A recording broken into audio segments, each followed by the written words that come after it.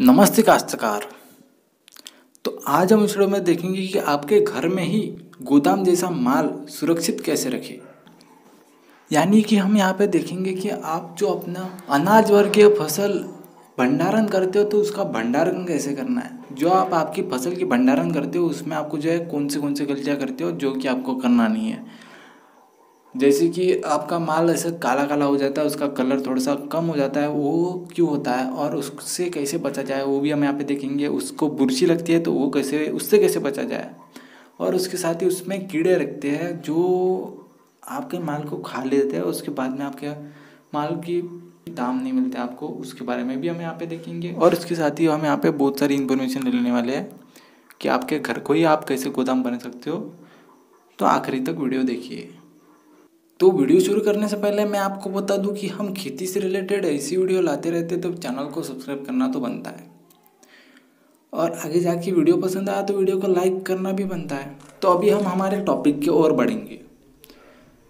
जैसे कि आप सब जानती है कि वेयर हाउस में माल जब जाता है, तब जैसा जाता है, वैसा ही दो तीन महीने बाद या फिर साल भर बाद वैसा का वैसा ही माल रहता है। और अगर हमने वही माल घर में रखा होता तो उसमें कीड़े लग जाते या फिर उसमें बुरशी लग जाती या फिर उसका रंग काला पड़ जाता है। तो ऐसा क्यों होता है?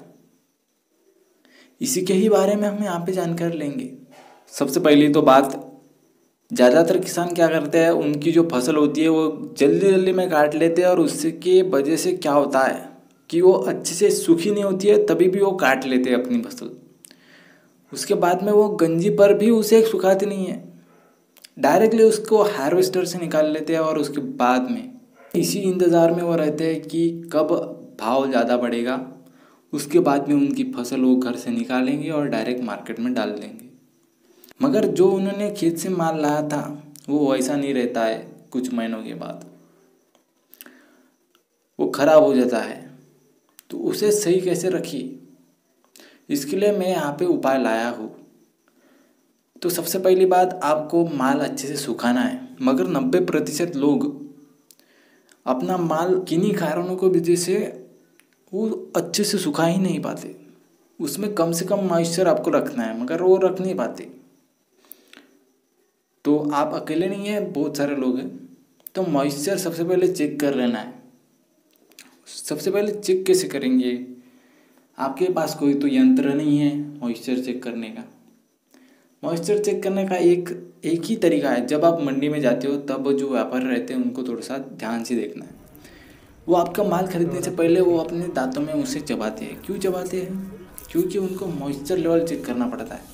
क्योंकि उस जो वज़न रहता है, उसमें घट आती है मॉइस्चर की वजह से। तो वो चीज़ वो ध्यान में रखते हैं।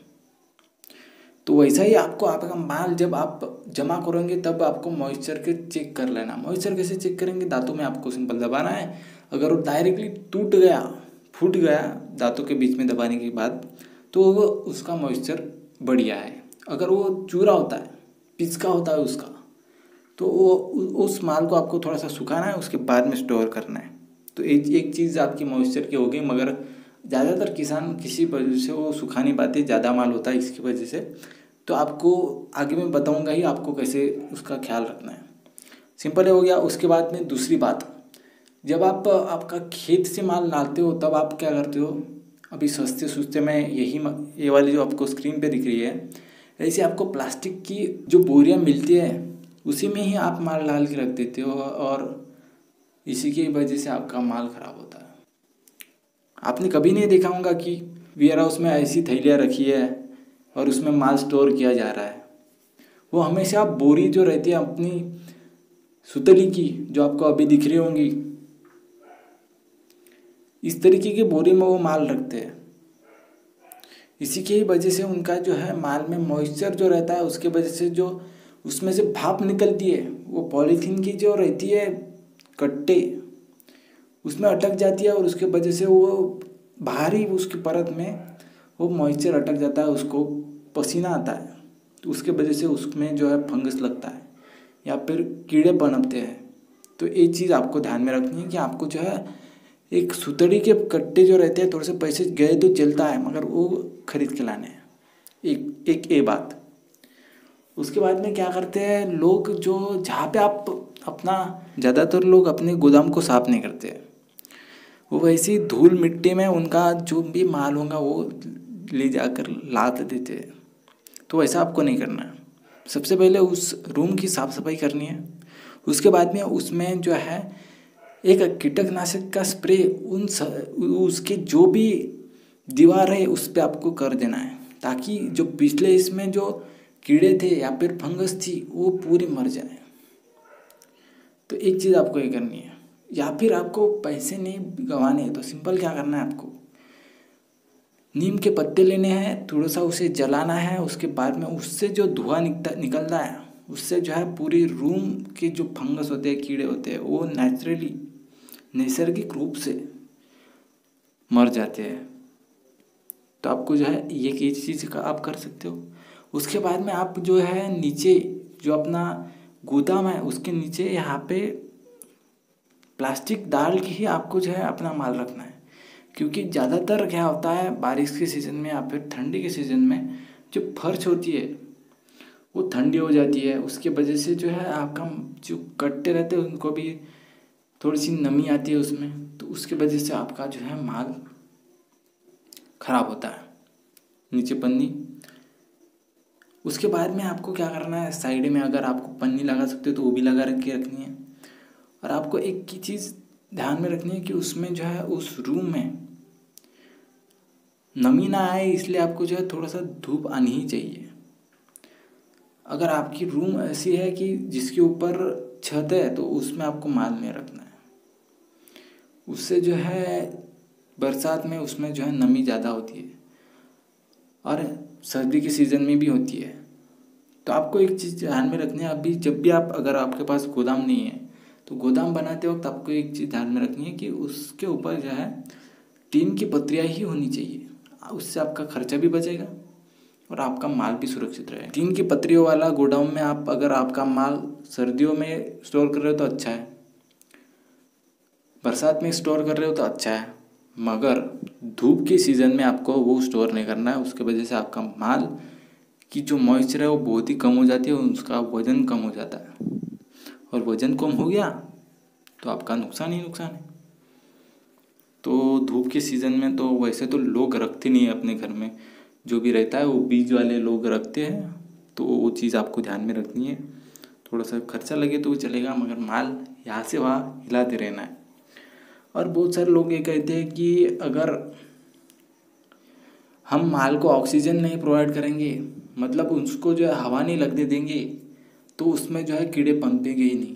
मगर आपको एक चीज़ ध्यान में रखनी है, आपका माल जो है पूरा सूखा हुआ नहीं है। उसका अगर पसीना आया मतलब उसमें से भाप बाहर निकली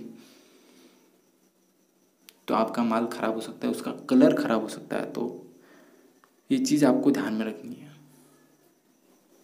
और अभी आप बोलोगे कि उसे खुला भी रखना है और उसमें जो है रूम को सफ़ा करके ऐसे ही नहीं हो जाता। उसमें आपको एक दवा डालनी पड़ेगी जो कि गोदाम वाले भी डालते हैं। गोदाम वाले कौन सी चीज़ डालते हैं? उसका नाम है सल्फास। ये पूरी दुनिया में जो कीड़े रहते हैं, फंगस रहते हैं, उनको भगाने के लिए एक एकमात्र औषधि है। तो इसे, इसको कैसे यूज़ करना है? इसके इसके इस्तेमाल करने का तरीका बहुत ही सिंपल है। सिंपल आपको जो है दस बारह रुपए में दस ग्राम की एक पैकेट मिलेगा, उसको सिंपली पाँच दस कट्टे के बीच में रख देना है। आपने जैसे भी कट्टे रखे हो, उसके हिसाब से वो चेंज होता रहता है। वो आपको जो है इसे थोड़ा सा इसको चिरा मार के सिंपल रख देना है। उसकी वजह से जो है आसपास में इसका जो है सुगंध, या फिर हम दुर्गंध भी कर सकते या फिर हम दुर्गंध भी कर सकते हैं इसे। तो ये फैल जाएगा और इसकी वजह से जो है कीड़े वीड़े पनपेंगे नहीं, फंगस लगेंगे नहीं। और इसका जब वो सुगंध जो भी है वो कम हो जाता है उसके बाद में आप दोबारा से दूसरी वाली डाल दीजिए इसमें और जिससे कि आपके माल में कोई भी कीड़े नहीं आएँगे। इतनी चीज़ें आपको कर लेनी है ताकि आपका जो माल है वो सुरक्षित रहे। और अभी आपको पता चल गया है कि आपका माल सुरक्षित कैसे रखना है। इससे आपको मुनाफा भी होगा। जो कि आपके माल ख़राब हो जाने के बाद आपका मुनाफा नहीं होता था। तो इसी बात पे चैनल को सब्सक्राइब कर दीजिए और इस वीडियो को लाइक कर दीजिए।